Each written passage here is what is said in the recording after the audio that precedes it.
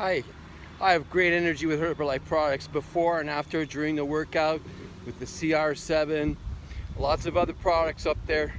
And if you want to be at your top performance, wow, I feel great. I'm going to do 40 minutes today.